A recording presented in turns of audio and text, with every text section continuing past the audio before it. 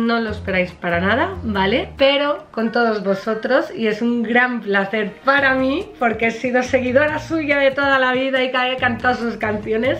Os presento a Lorna. Hola, ¿qué tal mi gente bella? Saludos. Hola Lorna, ¿qué tal? Feliz.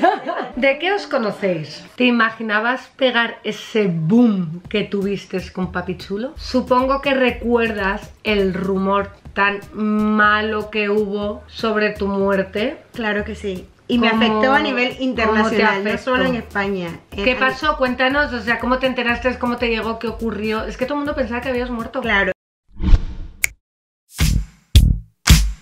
you